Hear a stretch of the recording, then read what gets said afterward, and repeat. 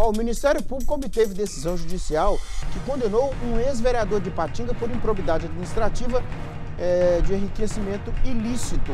As investigações constataram a participação dele em um esquema criminoso de vereadores que exigiam parte da remuneração de servidores públicos por eles indicados aos cargos. Para falar mais sobre esse assunto, eu vou chamar a Gisele Ferreira de volta aqui. É isso é chamado comumente aí, no senso comum, de rachadinha, né, Gisele?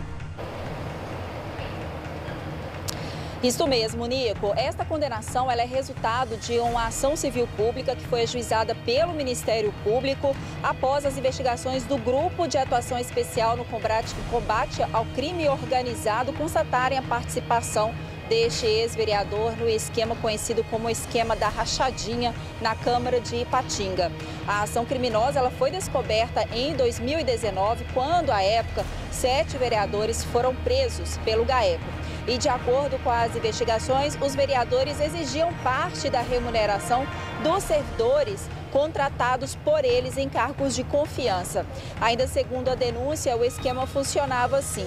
O vereador, neste caso, contratava o servidor público, cargo de confiança, e exigia dele que ele fizesse um empréstimo no banco para assim ele, ele ter é, benefícios é, relacionados a esses empréstimos.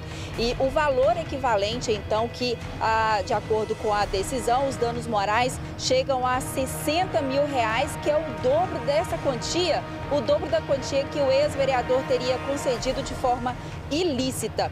O ex-parlamentar também foi condenado à perda dos bens dele, a suspensão dos direitos políticos por 10 anos e também está proibido de contratar com o poder público. É, em nota, o, o, o ex-vereador informou que vai acionar os advogados de defesa para recorrer desta sentença. Nico.